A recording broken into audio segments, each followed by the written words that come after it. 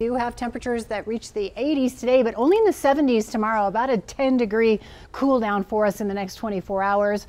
So we'll have those temperatures in the 70s tomorrow, more scattered showers as we go into Sunday as well, and then a really quick warm up going into next week. Those 90s return as quick as a flash. Now tonight we'll have temperatures in the 70s for the rest of this evening, all the way through 11 o'clock, and then we drop into the 60s around midnight. As for today, we reached 87 degrees at DIA. Our overnight overnight low 67 degrees and the record 100 set back in 1876 and on average we should be around 88 degrees this time of year. We're at 83 now downtown, 82 at the airport, our humidity at 31% and our winds about 13 miles an hour.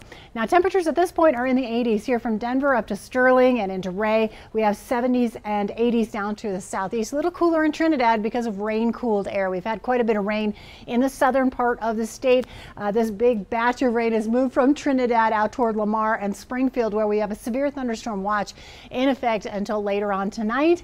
And we still have a lot of lightning and heavy rain with this storm cell that's moving through the area. So we'll keep a close eye on that, but here in the Denver metro, it's been pretty quiet for much of the day. Our temperatures by tomorrow morning will be in the 60s. Here for the northeastern corner of the state, we'll have 40s and 50s off to the west from Leadville into Aspen and Eagle. We'll have 45 in Gunnison and 47 in Alamosa. And our temperatures just off to the west in the 50s. Here from Blackhawk to Nederland up into Estes Park. We'll also have 50s and 60s here for Metro Denver. Our pool forecast tomorrow looking pretty good. Well, partly cloudy skies. You'll Notice the difference in our temperatures though. 76 degrees by 2 o'clock.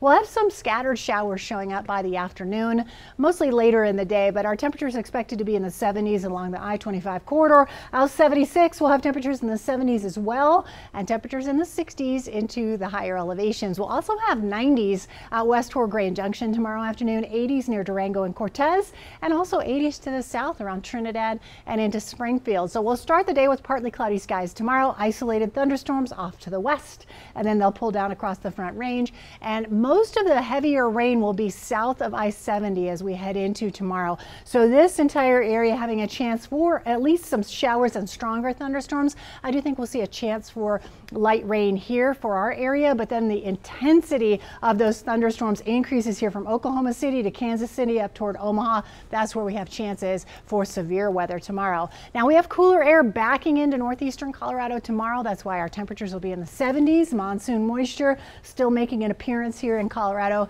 as we get into uh, the next 24 hours. So 78 for a high tomorrow, 80s on Monday, and then those low to mid 90s here Tuesday, Wednesday with partly cloudy skies. We'll have chances for rain Thursday and Friday with highs in the low 90s.